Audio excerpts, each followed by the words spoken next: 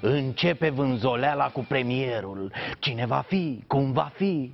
Altfel trebuie să recunoaștem ceva. Parcă ne-am obișnuit fără oameni politici. E ca atunci când ți se strică dușul. Curge apa aiurea. E, e nasol câteva zile acolo, după care te obișnuiești. Urlă nevasta, să repar și tu dușul ăsta, bărbate. E bine, bine, chem pe cineva, dar nu chemi. Iar după încă vreo câteva zile, nu mai țipă nici nevasta. S-a obișnuit și ea. Să nu-mi spuneți că nu v-ați putea obișnui fără oameni politici, că nu vă cred.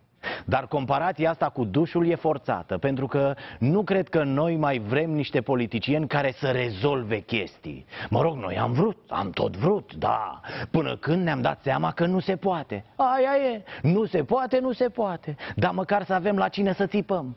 Mă, tu vrei bătaie, mă? Da, cred că de asta vrem neapărat un guvern politic. Să putem să zbierăm la el. Bă, ai fost ales de ce ai candidat dacă ești prost și hoț?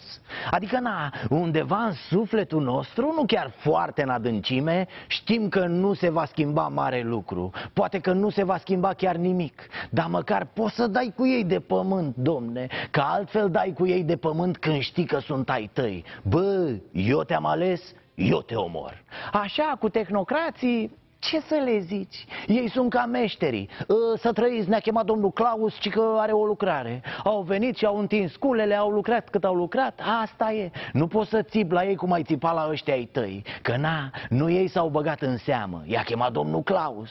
Da, pentru o lucrare, o lucrătură mai degrabă. Abia aștept așadar luna decembrie să vină în guvern oameni politici ca să-i luăm puțin la ture. Vorba aia e ca copiii noștri, taică. Bine ați venit la Starea Nației.